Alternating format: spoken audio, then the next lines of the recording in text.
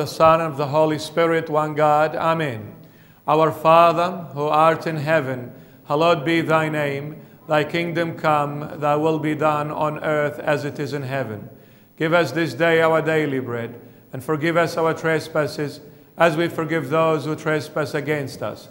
And lead us not into temptation, but deliver us from evil. For thine is the kingdom, the power, and the glory, now and forevermore. Amen. Well, a very uh, warm uh, evening to all of you, and a very good one. I'd like to welcome you all for another Bible preach. All right, guys, tonight um, we're going to continue our topic, which we have been doing for the last few weeks, which was the miracles, the seven miracles in the Gospel of St. John.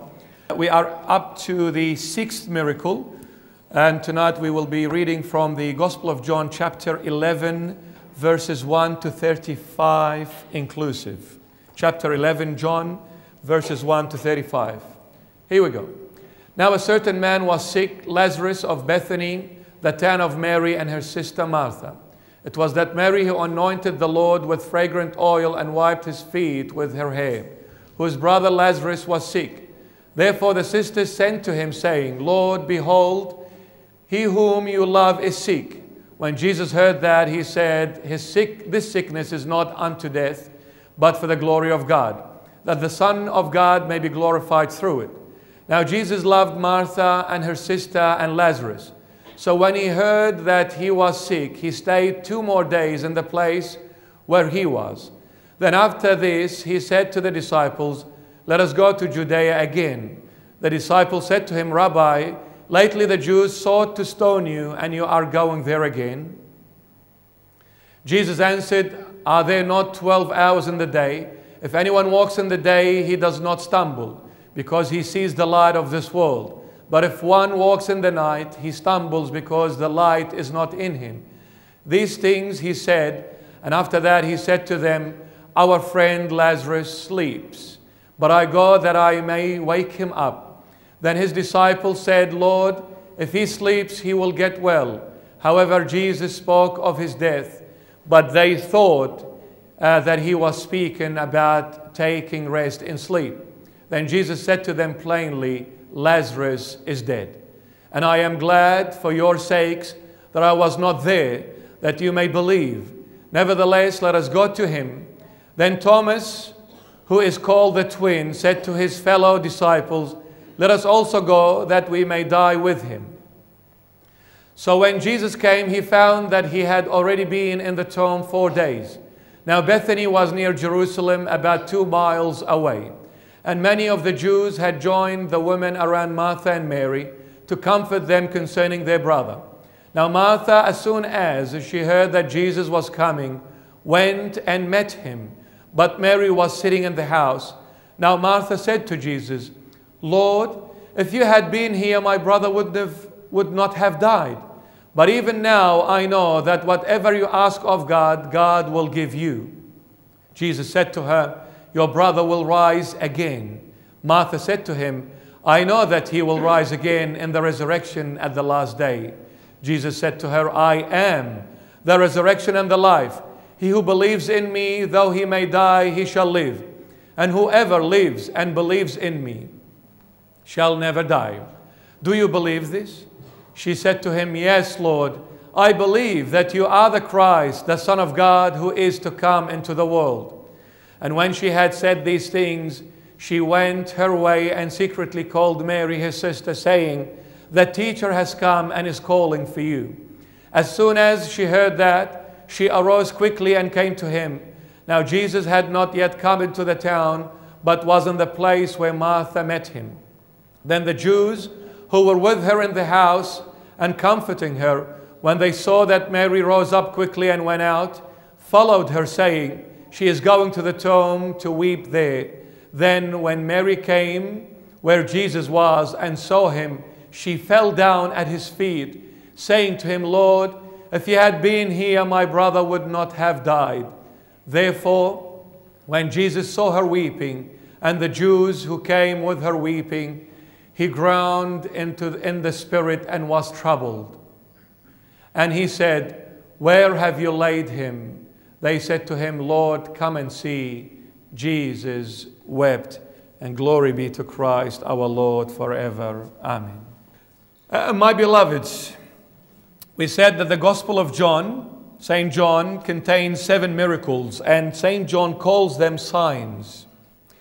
These seven signs, we said, just a small intro, we said that these seven signs, each sign takes up three chapters. The first chapter is an introduction to the sign. The second chapter is the sign itself or the miracle. And the third chapter is the result of that miracle or that sign that Jesus performed and did. So, seven signs. Each sign contains three chapters. Three times seven, 21. And this is the Gospel of St. John, 21 chapters. And these, and these seven signs are the seven sacraments of the true church of Jesus Christ. The first sign was the wedding of Cana, where the Lord Jesus changed the water into wine. And that sign is the holy baptism, one of the seven sacraments in the church. The second sign, where the Lord Jesus heals the royal's official son. The royal's official son. And that is the sacrament of confession, believing in the word of Jesus Christ. Confess. And when you confess to your Lord everything you have done, and believe in the word that is salvation to you, then you are saved and you have eternal life. Confession is the second sacrament. The third sign, healing a man of Bethesda. For 38 years he was paralyzed. Jesus came to him and he said, Get up, take your bed, and go home. That is a sacrament which is anointing of the sick. The fourth sign, where the Lord Jesus feeds um, the multitude, 5,000 men, not including women and children, with five loaves of bread and two fishes. That is another sacrament in the Holy Church of Jesus Christ, which is the Holy Eucharist, the body and the blood in the truth of Jesus Christ. And the fifth one, opening the eyes of the blind men who was born blind from the womb of his mother. In John chapter 9, verses 1 to 7. And Jesus opened his eyes by spitting on the ground, making some mud, and putting it on his face. And he says, Go to this pond of water called Shilucha in Hebrew, which means the sent one or the messenger. And when he went and washed, he regained his sight and regaining the sight is another sacrament, which is the anointing of the holy oil, the confirmation, the sacrament of confirmation. Holy baptism is two stages baptized in water and confirmed by anointing of the oil on you, which the oil represents the Holy Spirit. Anointing is the work of the Holy Spirit. You are baptized in the name of the Father, the Son, and the Holy Spirit, you receive the Holy Spirit of God, and that Holy Spirit to remain in you forever, you are confirmed. The second stage of the holy baptism, anointing of the holy oil, is opening of the blind man's eye. And tonight, my beloved, is the sixth sign and the sixth sacrament of the seventh, and that is raising Lazarus from the dead. What do we learn from this. Raising Lazarus from the dead is chapter 11 in the Gospel of John. If you look at the Gospel of John, chapter 10, before 11, and obviously chapter 12 after 11, we come to chapter 10. What do we see in chapter 10? We see in chapter 10 the famous chapter where the Lord Jesus talks about the shepherd and the sheep. And in chapter 10, he says, I am the good shepherd, and I come, I came to lay down myself or my life for my sheep. I came down to put my life for my sheep. And while he was saying that I came to give my life for you guys, my sheep, i.e., those who believe in Jesus Christ, the Christians, or those who accept Jesus and become Christians. He came to die for us, and He came to die for the whole world, As John 3:16 says, and so God loved the whole world that he gave his only begotten son. So Jesus died for the whole world. So he came to give his life for everyone who accepts this sacrifice. And then, if you read at the end of chapter 10, the Jewish priests and the Pharisees and the scribes, as usual, they went against him and they said, Who do you think you are? And they wanted to stone him to death. So he ran away. He ran away from the Jerusalem area or region into where? Into the wilderness. And while he was, he ran away with his disciples. The disciples would have probably thought and they would have said, But Lord, you were saying that I came down to lay myself for you guys. I came to die for you to have life. And now the Jews came to kill you, you ran away. So that doesn't make sense. If you came to die, then why are you running away when they want to kill you? Well, he was not running away in the sense that he was afraid of dying because he came to die. But he went because his hour of the cross had not come yet. That's why they could not have laid any hand on him or stoned him. His hour had not come yet. No one can touch Jesus unless he permits you to touch him. No one. Because he's God and he's in control of everything. He's in control of everything. So he ran away for our sake. To what? To show us that when I'm going to run away, I'm going to come back for the very thing that I was talking about. I am the shepherd who lays his life for his sheep. So a message came to him. They said, Your friend Lazarus is not feeling well. Jesus said, Let us remain a couple of more days. Let us remain a couple of more days. And then the word came that he is extremely ill. And the Lord waited two more days. And then he turned to the disciples and he said, let us go and I want to go and wake up Lazarus. And then the disciples said, Lord, but you just ran away a couple of days ago from the Jewish people. They wanted to stone you to death. How come you want to go back there again? We don't understand. One, one day you say, I came to die for you. And then when they want to kill you, you run away. And then now you want to go back to the very people who wanted to kill you. So, what's going on? But Jesus was pointing one thing that when I took you out, I wanted to show you that what I said, I meant every word, that I am the shepherd who lays his life for his sheep. And that death, I'm pointing now to Lazarus. Lazarus represents the whole human race. We are all Lazarus. We are all dead.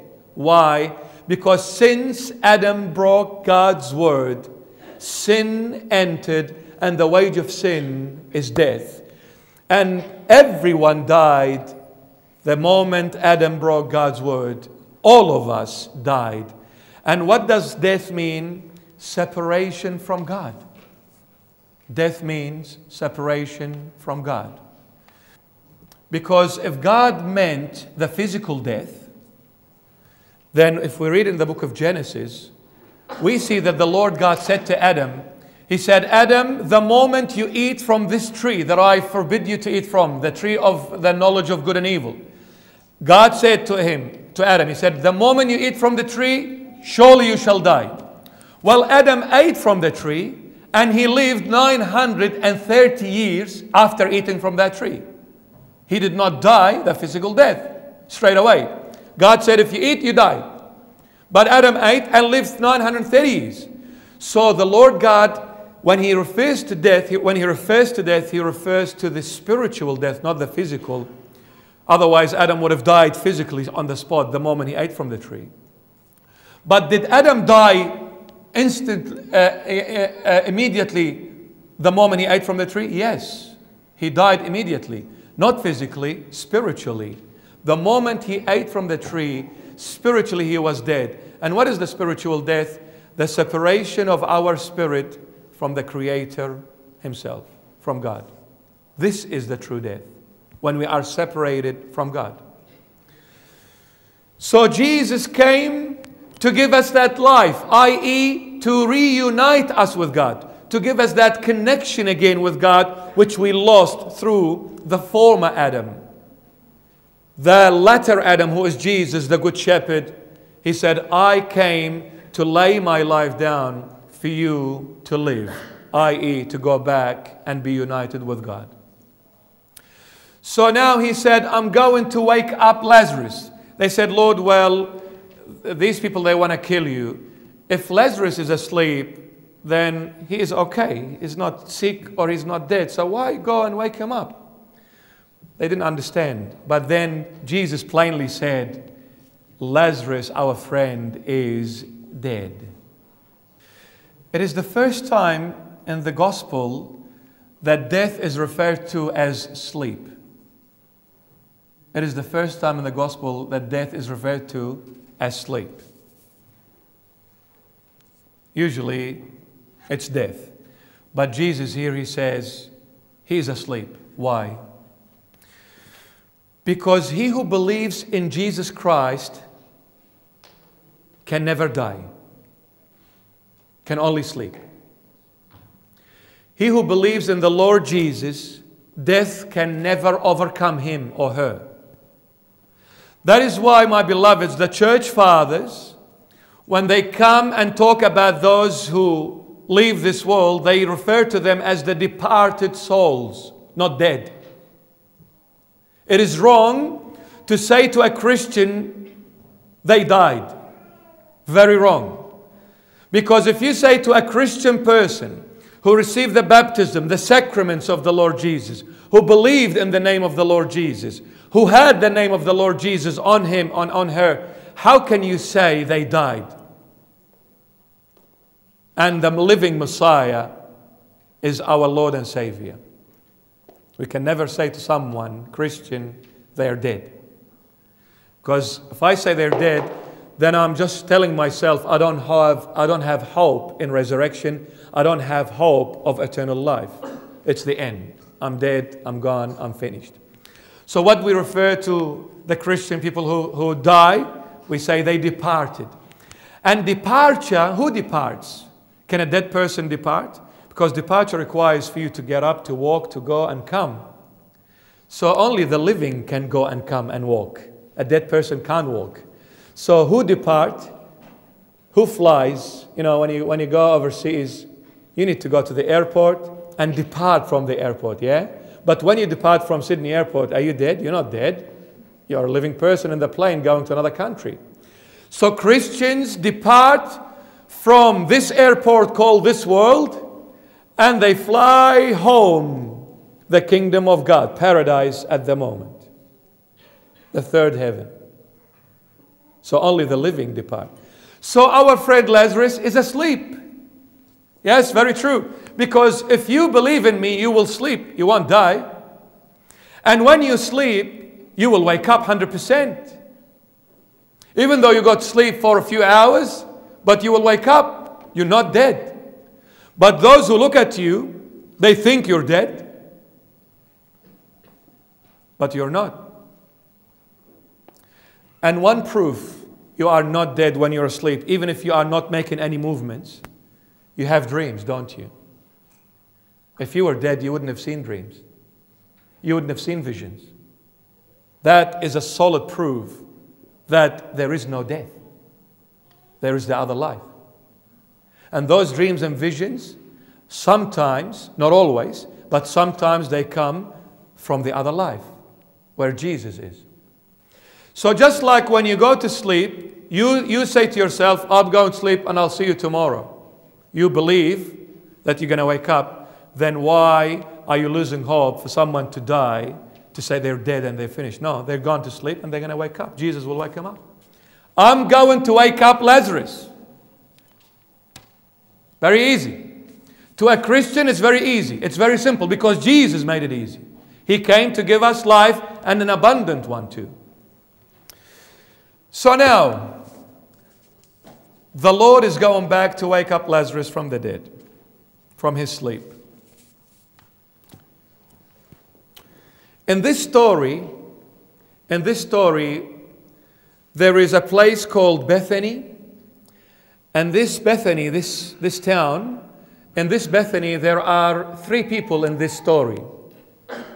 There is Martha, there is Mary, her sister, and there is Lazarus, their brother.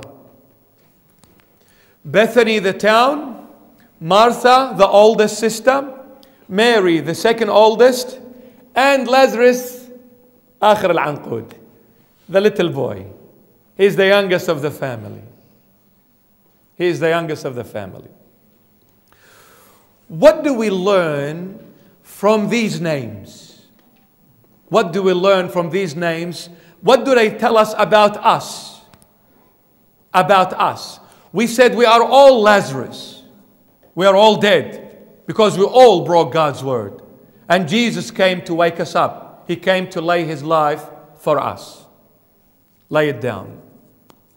Bethany, my beloved, the word Bethany means it's a Hebrew or Aramaic or Syriac. Suryoyo is a, is a Hebrew or Aramaic. The, the Hebrew language is taken from Aramaic um, or Syriac. And it's, the proper translation is Bethania. Bethania. Now, Bethania is a two word in one. Beth is house, Anya is agony or pain or sorrow. So Beth Bethania or Bethany means the house of agony, the house of pain, the house of sorrow. And don't we all live in Bethania? Don't we all go through pain and sorrows and hurt?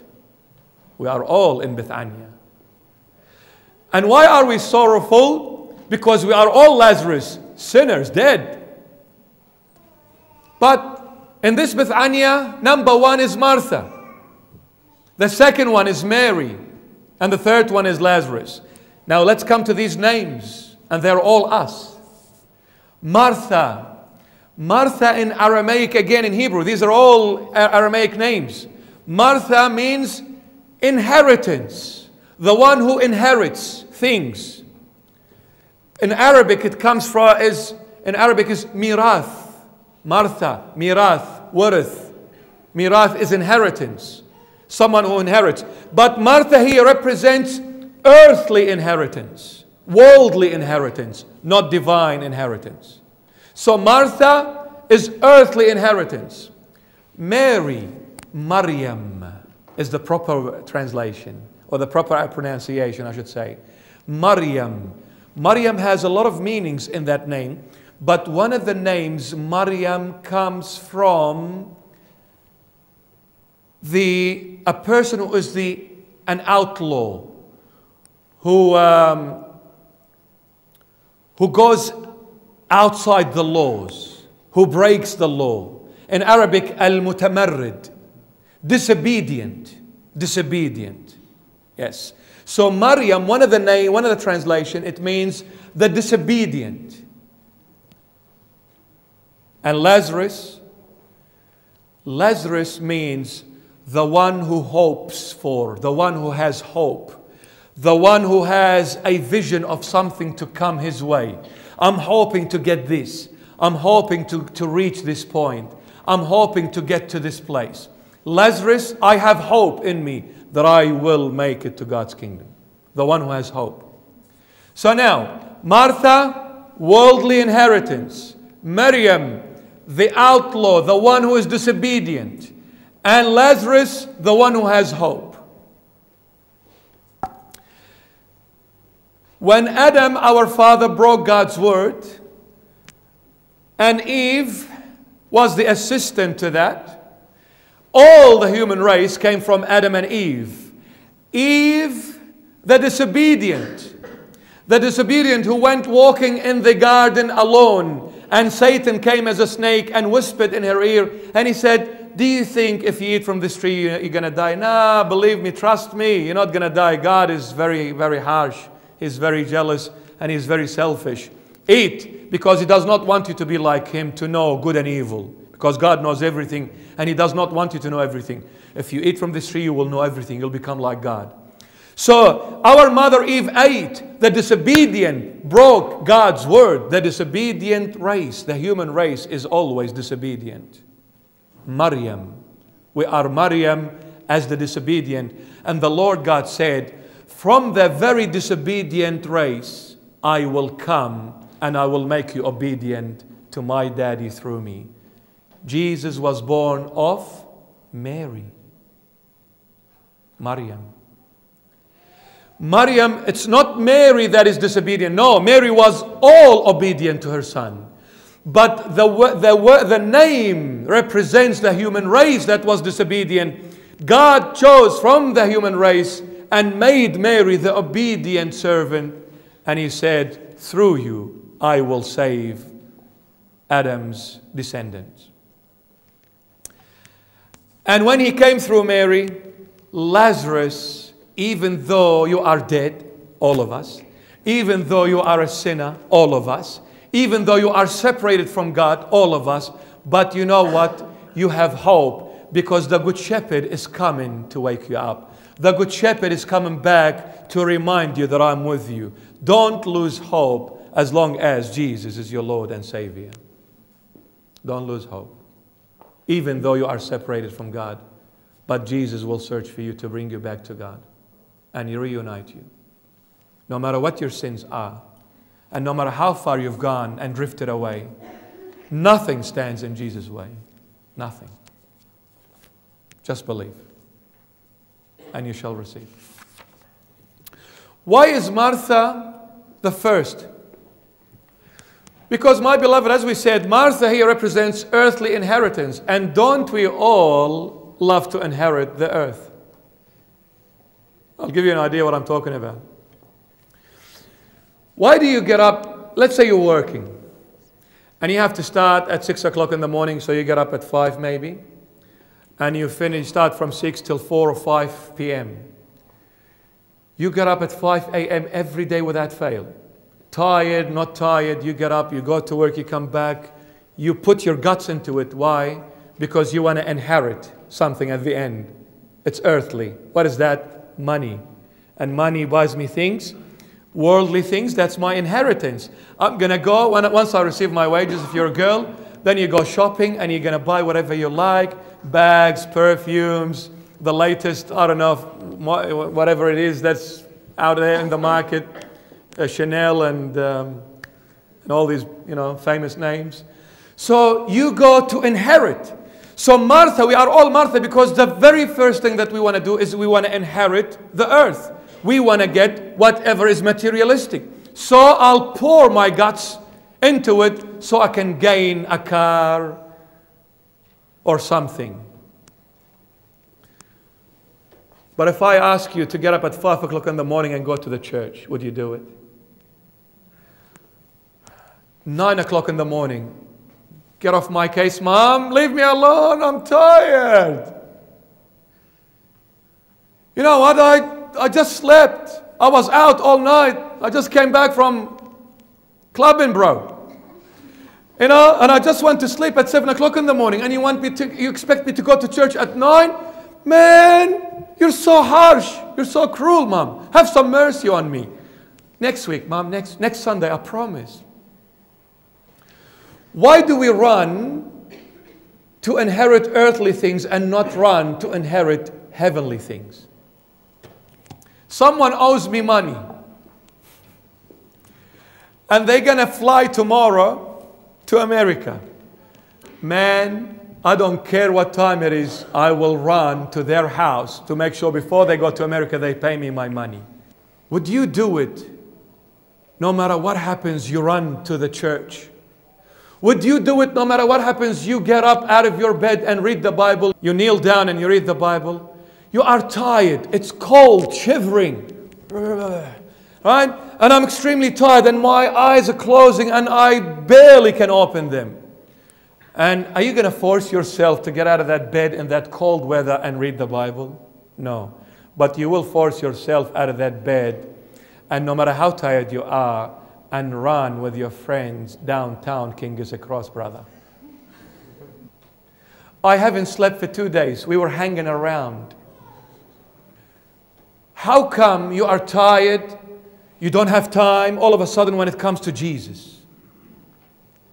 When it comes to anything to do with the Lord, sorry, I'm tired, I'm busy. You know what? I'd love to come. Believe me, trust me, I swear. Don't swear. don't swear. trust me, you know what? You know how much I love to go to church, but no time, bro. The same minute, let's go out. Yeah, I got all the time under the sun. Let's go, brother. Because we are Martha. Martha came first. Read it. Later on, go home and read these verses. Martha is number one.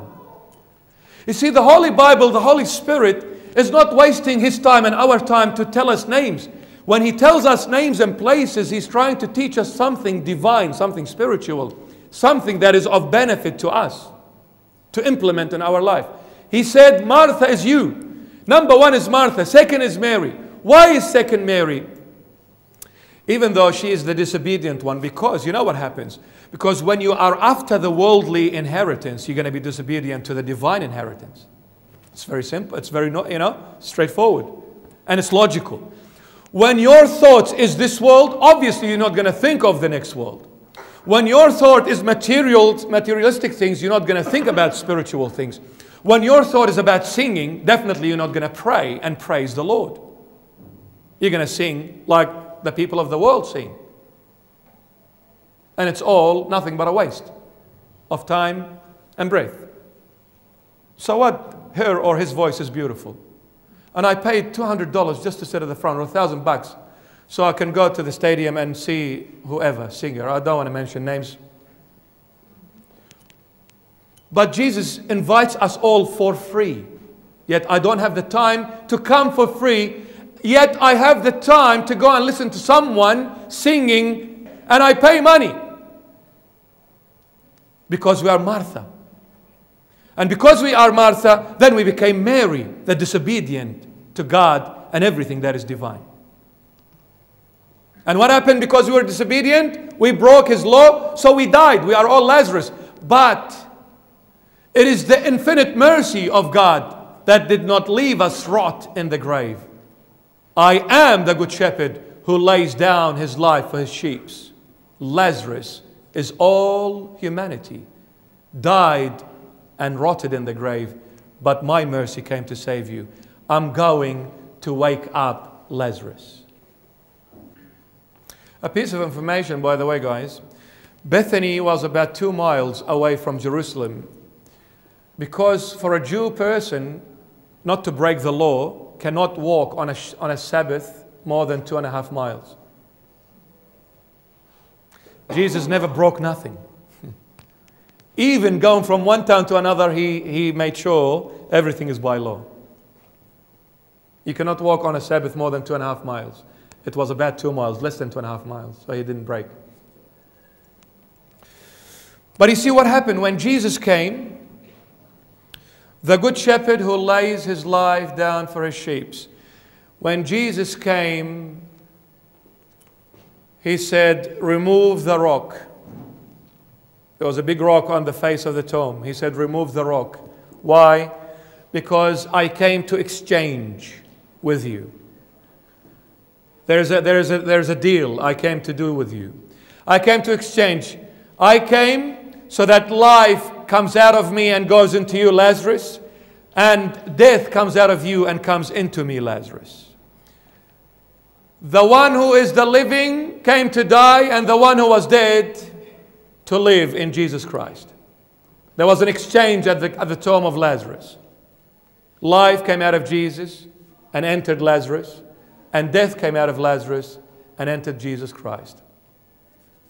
In our church, we call it the Friday of Lazarus. We believe that Jesus rose Lazarus from the dead on Friday.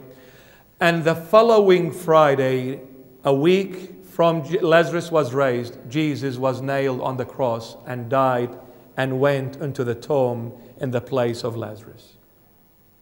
So Lazarus being raised meant Jesus had to go into the tomb and die in his place.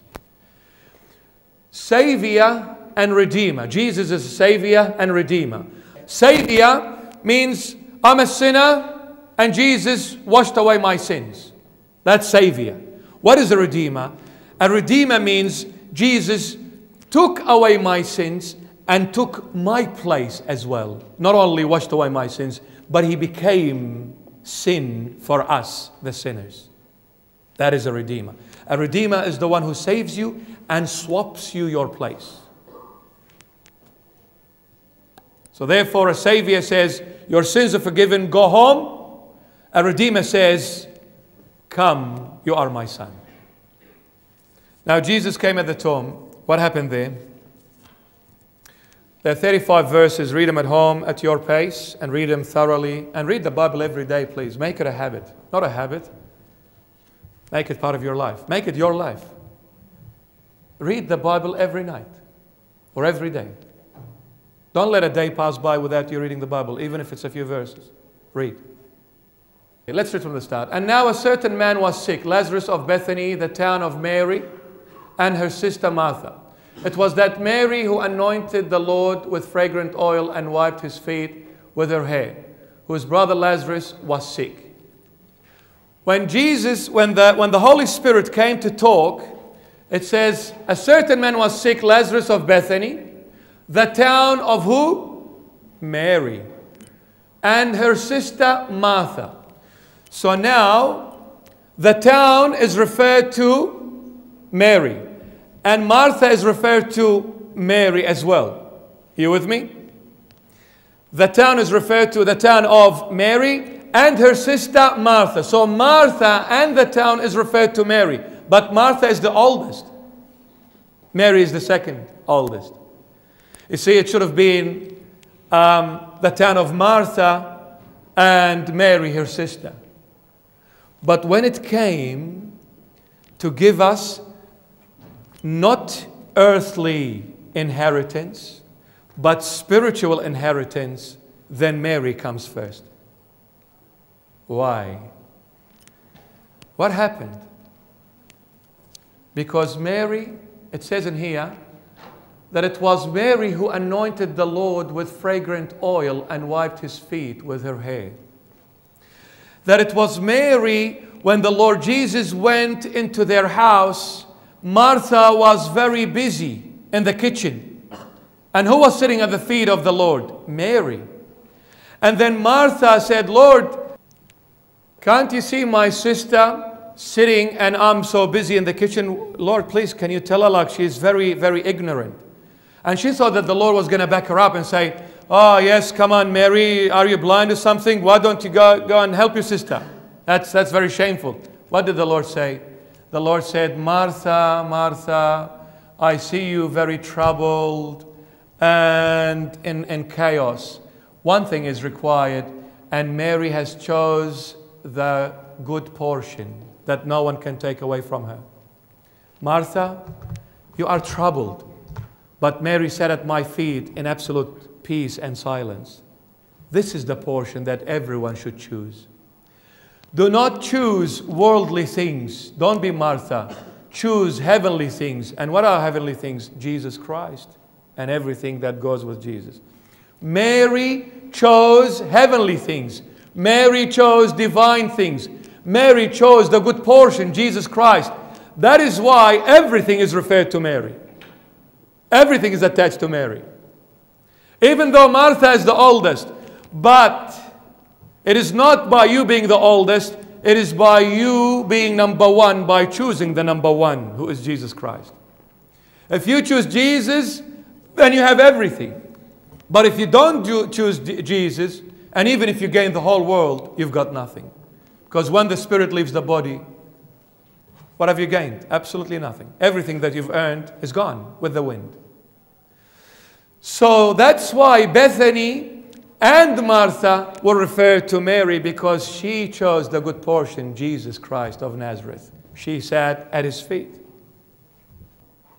And where she anointed the feet of the Lord with the fragrant oil.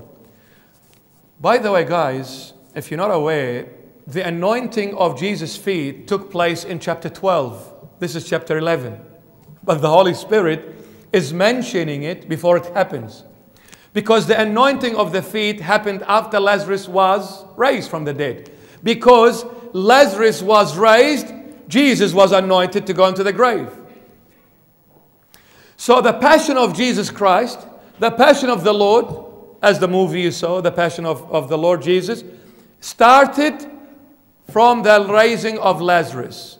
The week of the passion started on, good, on Friday and ended up on Good Friday. The Passion Week started for, by raising uh, Lazarus. That's where the passion of the Lord started. That's where the pain started. I came for this rotted humanity in the grave by being disobedient, by breaking God's word. They all died. They're all Lazarus. I came to take this sin, I, the Holy of Holies. This is very grieving for the Lord. The light going into darkness, the holy being taking on sin, the living and the life giving dying in the grave. It can't get any worse for Jesus. So that's where the passion started. So the anointing of the oil took place after raising Lazarus.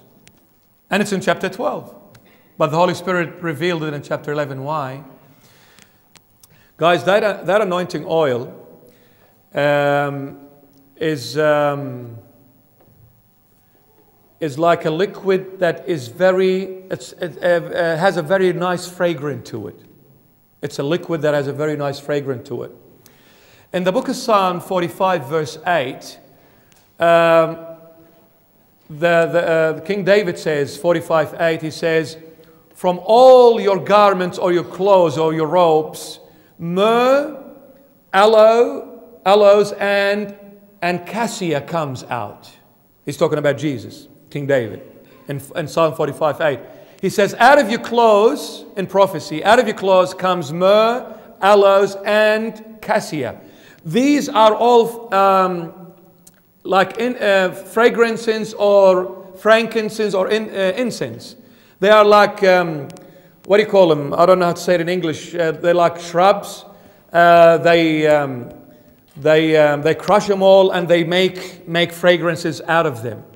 But what, what Mary poured on Jesus' body and feet was a fragrance that was liquidish. The others are like dust. But this particular oil that she poured on Jesus was liquid and had a beautiful, beautiful smell to it. This particular fragrance is only done on wedding days in happy occasions. Mary had preserved this oil, and this oil used to be preserved in a glass container, uh, crystal. Had to be a crystal glass container. Why? Because this, this substance was so strong if it was to be put in any other containers, would break it. But only this crystal glass and a very expensive jar would only be able to contain this oil that is very strong. So the jar was very, very, very, very expensive, and the oil was very expensive, very rare. So Mary, when she poured it, if you read in chapter 12, the disciples started, you know, talking. They said, Oh, what a waste, especially Judah Iscariot who, who, who sold the Lord with 30 pieces of silver. He said, What a waste of this very expensive oil. Could have been sold for more than 300 denarii and be given to the poor because it wasn't expensive. So that oil was used really for happy occasions, weddings. Now, Mary and Martha were very old in age, so their, their uh, ma marriage was, uh, train was, you know, passed them by. You know, they can't get married anymore. They were old. So the youngest of all was Lazarus. He was the youngest. So Mary, she kept that oil for her brother. She said, okay, well, now we are old in our 50s. It's not like the movies they show it, Mary, Mary Magdalene as being young. No, no, no. She was old. So um, We're old, but our brother is still young. He is the youngest in the family. So I'm going to keep this, this expensive oil. When he gets married, I'm going to pour it on him. But when she met Jesus, that love turned from brother Lazarus to Jesus Christ. She loved Jesus more than her brother. When you have an encounter with the Lord, there is no other love that come anywhere near Jesus' love. He, he overrides and supersedes any, any love. Because his love is so pure, you can only find it in him alone. In this whole universe, you will only find it in Jesus. So when she met Jesus and she had an encounter with the Lord, she said, Lazarus, I don't care if you're going to get married or not. I don't, you bring your own oil. This oil, I'm going to pour it on Jesus because he is my love. He is my happiness. And the happiness is what? He is my resurrection. So she came and poured that oil on Jesus. I am wedded to you, and in you, my Lord, I am risen from the dead. I am no longer dead. I overcame death through you, my Lord, the Good Shepherd, who laid his life down for me to bring me out of the tomb into eternal life. I'm going to get your attention to um, verse 5 here we go. Now, Jesus loved Martha and her sister and Lazarus. When it came to referring things, Beth Bethany, Martha, they were referred to Mary because she chose the good portion. But when it comes to, for, to Jesus' love, it says Jesus loved Martha and what? And her sister. He didn't even mention Mary and, and Lazarus.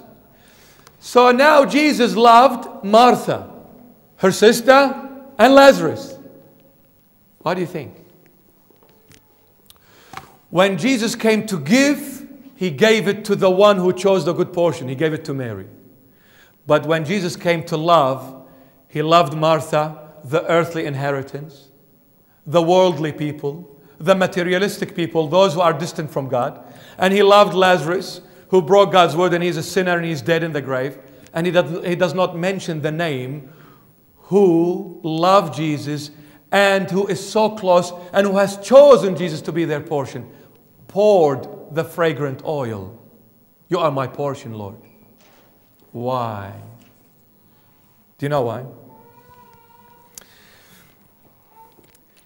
The one who loves Jesus, listen to this, the one who loves Jesus and this is a comforting statement, by the way. It's a very comforting, it's a positive, it's not a negative one. The one who loves Jesus, Jesus has already placed you in the, in the, in the center of his heart. He has hidden you. He has hidden you in the center of his heart. That's why he does not need to mention your name because he loves you so much, he doesn't need to dwell on it but he needs to dwell on those who are distant from him because he loves them the same. You with me? Because when Jesus died, he died for the whole world. When Jesus shed his blood, he shed it for the whole world. But some of his children have denied him. They're Martha. They've gone after this world and the pleasures and the treasures of this world. He's going to call them by the name just to say, Hello, please come back. But those who are his, the true child of Jesus, he won't need to mention your name because you are already his. Whatever he has, is he already given it to you? You know, in the, um, the parable of the prodigal son, Luke chapter 15, when, when the younger son went and broke his daddy's word and he went and he destroyed everything and he came back, the father did a big banquet for that son who came back. The older son came and he started whinging. He said, Father, all these years I've been working for you and I've, I have been obedient to you, but uh, you never gave me a goat to, you know, to have fun with my friends. And this your son who went with, you know, bad people and did filthy things and spent all the money that you gave him in bad and filthy things. And when he came back, you invited the whole city and you slain a big, a big um, bull for him and you made a big deal. How come you haven't, you've never done this for me? Because you are Mary. You've always been my son. And he said it, My son, what is mine is already yours. Why are you, why are you comparing? Don't compare. But I had to do it for this, your brother, because your brother is Martha. He went after the world. But I still love him. I'm a father at the end. I am the father. I have to show more love for the lost. But for you, I don't need to because you should know me by now. You are my heart. Don't you know how much I love you? Do I really need to show it? So, why are you worried and you say, How come Jesus, you do all these things for those who, are, who have denied you? And I, the one who love you and pray for you and come to your church and read your Bible and do this, and you don't listen to me, you've just lost me. You don't care about me or what? Well, do you want me to be a sinner so you love me? No, you are in my heart. You're hidden. I'm not going to mention your name because you are me and I'm you. But Martha is not me. I want her to make I want her to be me like you because that's what I came for. Father, just like I and you are one, I want them to be one. So the ones who are him, he doesn't need to dwell on it, but he needs to dwell on those who are not him. Yeah? So now Jesus loved Martha, her sister, and Lazarus. Because Mary is all Jesus. So next time, don't be um, brokenhearted because Jesus is not listening to me and he's listening to sinners. You know, it's like, um, let's say you guys, you come every day to church. I don't need to, uh, I don't need to dwell on it and say, hey, you must believe in Jesus. Hey, yeah, you already believe in Jesus, otherwise you wouldn't have come. You come every day to church, you come, you come, you receive the Holy Communion, you read the Bible, you come to Bible preach and everything. And then, and then one day someone comes for the first time and he hears Jesus for the first time, or she. Let's say I'm preaching, I need to pay attention more to the one who just came for the first time. Why should you get upset if I'm spending more time with the one who just came now and not with you? You are already me. You are already with me, and I'm already with you. But this person came for the first time. I need to pay attention more to that person. You with me? Jesus needs to pay attention to Martha, not to Mary. Mary is already his. But when it comes to give, mine is Mary. Martha Bethany belongs to Mary. Yes? You with me? Good. Look at this. When the Lord Jesus came, the word went to the house where Mary and Martha were sitting. Martha heard that Jesus is coming. He has not came into the town of Bethany. He was on, on, you know, outside that border of the town. Martha got up, listen to this. Martha got up and ran to where Jesus was. The Bible says, you read it in verse 20. The Bible says she met Jesus. Martha met Jesus, verse 20. And she said, Lord, if you were here, my brother wouldn't have died. But now I still believe that whatever you pray to God, God listens to you and He will grant you your wish. He said, Your brother will rise. The Lord says to her, Your brother will rise. She said, Yes, Lord, I know he will rise in the resurrection day, in the second coming. He said, Martha, I am the resurrection and the life. He who believes in me, even though he dies, shall live. He who believes in me, even though he dies, shall live. He dies referring to what? Lazarus. Even though he dies, Lazarus shall live. And those who are alive and believe in me shall never what? See death. Shall never see death. So he who believes in me, even though he dies, Lazarus is the dead. He's referring to Lazarus. Even though he dies, he will live. I am the resurrection. What are you talking about, the second coming? I am the second coming now. you don't need to wait. I am the resurrection of the life. He who believes, even though he dies, shall live. And those who are alive and believe in me shall never see death. You, Martha, who is alive, if you believe, you will never see death. She said, Yes, I believe, my Lord, you are the Christ, the Son of God who came to this world. You are the Savior. You are the Christ, the Son of God who came to this world. And then Jesus goes and he says, Remove the rock. And then Martha says, Ho, ho, hold on, Lord, one sec. What do you mean, remove the rock? He said, Didn't I tell you if you believe, you will see the glory of God? Aren't we all Martha? She came, she said, Lord, if you were here, my brother wouldn't have died. All right, not bad. Good on you, Martha. But I still believe, whoa, she goes on, man. I still believe that whatever you ask, even though he's dead, whatever you ask, God will grant you. Whoa, good stuff. He said, Your brother will rise. Yes, in the, in the second coming. No, I am the sec- I am the resurrection life. I'm now. There is no death, my dear Martha. He's just asleep. I can wake him up anytime. And she said, Yes, I believe you are the Christ, the Son of God, who came to save the world. And then Jesus said, Okay, bravo.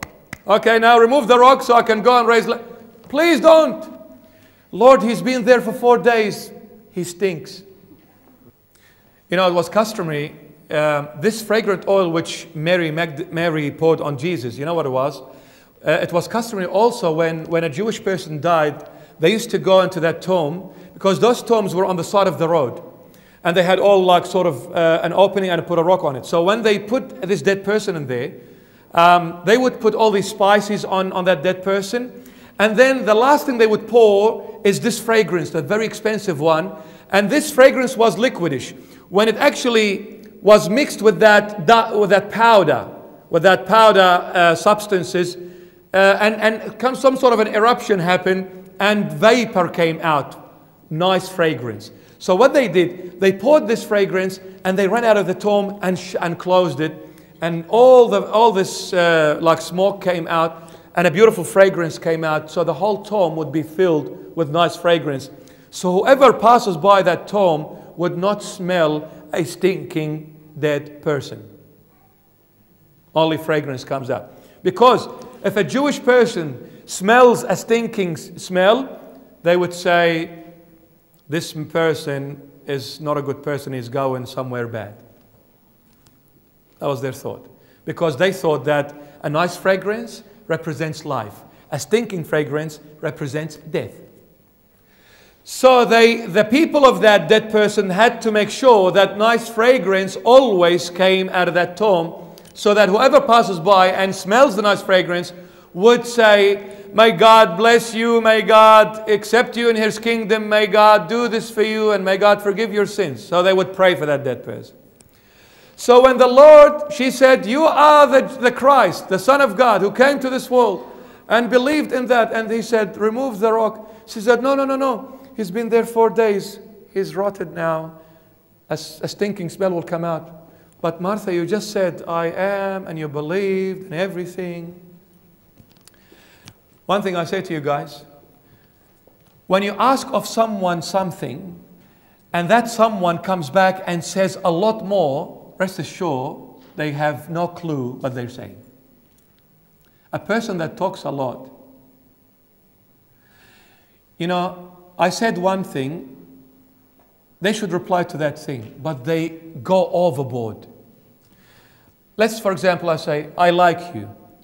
I like you and I love you and I die for you and you're my life and you're everything. A person like that, that exaggerates, they don't mean it.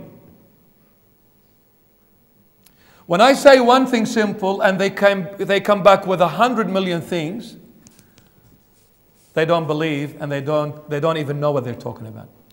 The Lord said, Your brother will rise. She said, Yeah, and the second coming said, I am, the, I am the resurrection and the life. Yes, you are the Christ, the Son of God. What a powerful statement. You are the Son of God. I mean, it's your God. Martha, don't say things you don't even believe in. When you go to go, when you go and talk to Jesus, don't exaggerate. You with me? Because he already knows. You don't need to make it a, a big deal. Lord, you know what? I swear, or don't swear. Lord, you know what? If you do this, oh, I will never forget you. I will always, you know what? I give my life. Hey, hey, hey, relax. relax. Martha, don't exaggerate with your words and be a show off to me. I know what you are and I know what you're going to do. So you should have said, Lord, Martha should have said, Lord, look, I'm, I'm weak. I'm a sinner. But you know what? I trust in your mercy. Strengthen my faith. Strengthen my love. Strengthen my weakness. I don't know. My, my brother is, is dead. He's been four days in the grave. He's, he's rotted. But I, I, I, can't, I can't see him be, being raised. I can't see him alive again. But Lord, please forgive my ignorance. Please forgive my weakness. Please forgive me. I'm a sinner. But I trust in whatever you say. I trust in that. Except this week, pray. I just trust in you. But I don't know what, what you're going to do. But I know you're going to do something. But don't be that confident person and say, Yes, you are the one and the only. And then when it comes to the, to the crunch, you fall short. So Jesus is, try, is testing her. Okay, open the grave. No, Lord, please don't. You're God? But no, no, no, no, he's dead, he's rotted. Well, if you believe that he's God, do you think God is going to allow that person to rot? Where is your faith? Where is your faith? We pray, yet we are suspicious that the Lord is ever going to hear my prayer. We ask, but then I come back and say, Well, I don't know if He's going to answer me back. Oh, he's, he's gone, he's taken too long. Um, you know, I'm getting really worried now. I thought it was going to happen on the spot, it didn't. I, okay, I said, I'll give you one more day, Jesus. The, the, the, the next day came, nothing happened. Actually, it gotten worse.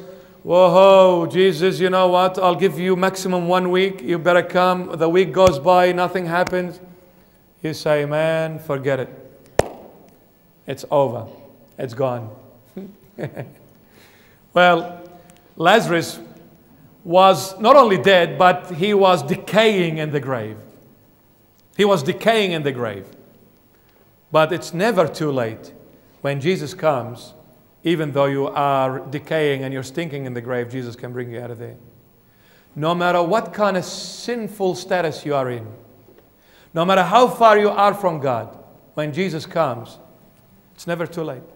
Everything is easy and anything, but have faith. Martha came and met Jesus. But look at this when Mary came, when Mary came where Jesus was, the same place where Martha met him. Because when Martha spoke to him and he said, I am, you know, the resurrection, and she said, Yes, you are the Christ, the Son of God, who came to the world. She went back home and called Mary. Said, Mary, Jesus has come and he is calling for you. So Mary ran out. And as, you re- as we read it here, and the people were sitting at home, they saw Mary going quickly out of the house. They thought she was going to the tomb to to weep over her brother. So they went with her weeping. So Mary came. When she came where Jesus was, she bowed to the ground. She fell on the ground at his feet. The Bible says when Martha came, she met Jesus. When Mary came, she fell at Jesus' feet, not met him. There's a huge difference. When Martha came, and what did we say, Martha? The worldly inheritance. A person who is distant from God. When I go to Jesus and I'm distant from Him, I meet up with Him. What, what, is, what does it mean, meeting up with Him? Meaning, can, we, can you stand for a second? Let's say, you know, without, you know, um, may the Lord forgive us. Let's say this is Jesus, right? But yeah, He is Jesus because Jesus gave Himself for Him, so He is Jesus. So let's say I, I'm Martha here, and I came to meet, as the Bible says, she met Jesus. When you meet someone, you're talking same level. You're talking intellectually, yes? When you meet up with someone, you're talking what? Intellectually. When you meet up with someone, it is your head that talks. It is the brain, the intellect that talks. But when you fall, when you fall at someone's feet, it is your heart that talks. It is your heart. The intellect, when the intellect talks, there is reasoning, there is argument, there is uh, prove it to me. I'm not going to accept it. How, where, now, how, all questions. And you started talking like um, as if you are on the same level. The intellect is talking. But when you come and throw yourself at, his, at, his, at Jesus' feet, the heart talks. What does the heart talk? The language of tears, not the words. The, the words of the heart are tears, and the language of the mind is words. When you use your head, don't open the grave, please. I know you're God, but please don't. I, I don't want to be embarrassed in front of all the Israelite people. They're going to smell my brother stink. And they, and, and, you know, this is very embarrassing, Jesus. I, I know you're the Son of God, but please, please, this is embarrassing. The brain is talking. And when you use your head, what are you going to do? You're going to make a judgment. Man, I think it's impossible. All the doctors said you're going to die. Yeah, I'm going to die. Jesus, I believe in you, but I'm going to die because the doctor said I'm going to die. You know, I'm 40 and I'm not married. That's it, it's too late. I will never get married. And every person under the sun tells me, your, your train has gone past you and you, you never get married. Jesus, you know, I've been praying, please, Lord, bring me my Romeo or my Juliet my way. But, uh, but by the looks of things, it's impossible, Lord. Even if I go to ankawa.com, I will never find one. that is Martha, a worldly being, a materialistic being. Reasons with Jesus. Don't reason with Jesus. Jesus is God. The intellect of God is never going to be your intellect. You're nothing, He's everything. So don't put Jesus in your intelligence. Don't limit God's power and mightiness in your power. It's impossible. Yeah, for you it's impossible. For him, it's everything is possible. So do not use your head, Martha. Be Mary. Mary came, fell at Jesus' feet, weeping, crying. She was speaking to Jesus, not words, but heartbeats. And that what Jesus adores.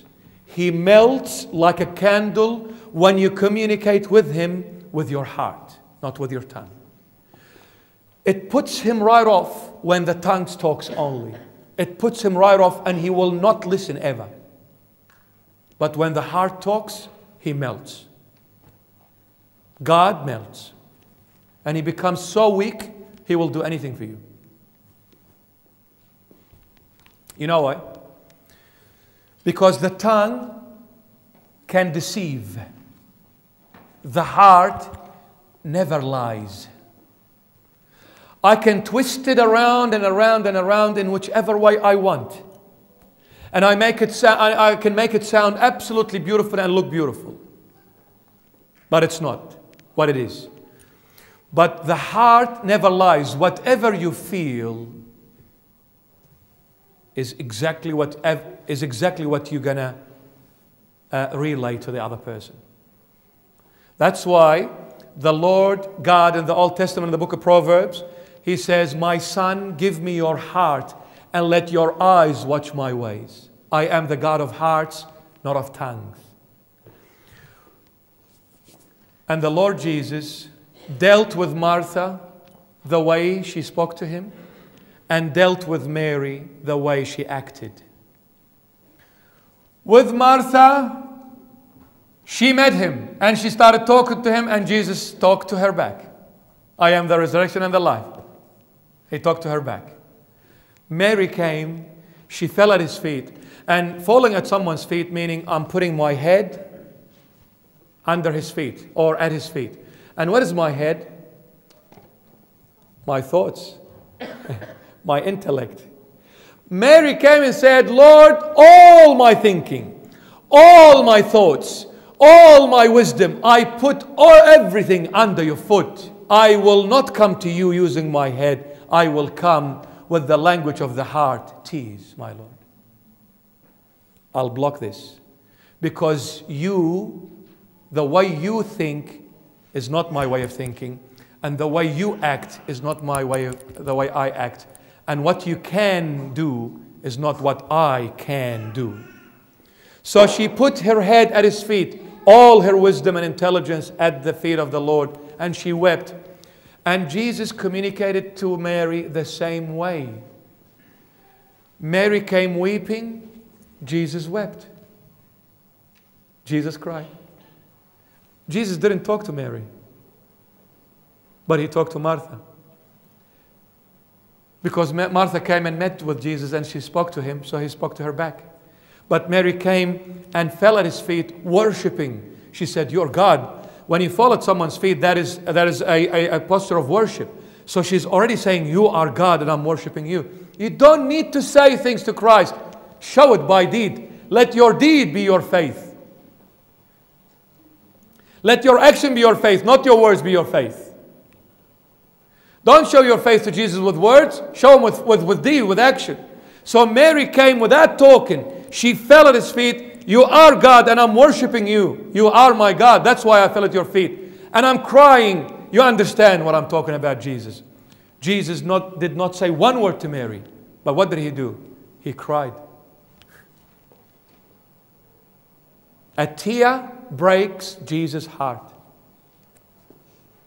A tear makes Jesus do wonders. The most precious bribery, the only precious bribery you could ever give Jesus and he will accept is your tears. The only bribe, you can bribe him, by the way. Yeah, yeah, yeah. That is the only bribery he will accept. And a tear for Jesus is more expensive than pearls, gold, precious stones, you name it. Nothing, nothing is expensive as it is. So Mary came and wept. Jesus wept. And he said, Show me where you, where you put Lazarus. Show me where you put him. This is not a question that Jesus, he, I mean, like he does not know where, he knew where Lazarus was. He was not asking, but he was saying, Show me where it is He's trying to point, to raise up in the human race this question that look where you ended up. Wake up, guys. Come back to me. This question is for you, not for me, because I know where Lazarus is, but I'm asking it for your sake. Where is he? Where have you put him? That means you guys, where are you ending up? Where have you ended up? I know where you are. I am the good shepherd who lay his, his life for his sheep. That was in chapter 10. That was in the previous chapters, I already said it. I came for Lazarus, I came for the human race. I know where you are, but do you know where you are? Where have you put him? He's in the grave. He's in the grave. And Jesus looked at Mary weeping. He wept. We'll continue this next Friday, God's willing. Where have you laid him? Let's see what Jesus is meaning by that and what Jesus is going to do, what steps is he going to take in order for Lazarus to get out of that grave. We will know that for next Friday, God's willing. Thank you so much for your attention. May, may God bless you. In the name of the Father, and of the Son, and of the Holy Spirit, one God. Amen. Our Father, who art in heaven, hallowed be thy name. Thy kingdom come, thy will be done on earth as it is in heaven. Give us this day our daily bread, and forgive us our trespasses as we forgive those who trespass against us. And lead us not into temptation, but deliver us from evil. For thine is the kingdom, the power, and the glory, now and forevermore. Amen. May the Lord Jesus bless you. And I will see you, God's willing, next Friday for the continuation of the, the sixth line, which is the raising of Lazarus. God bless you.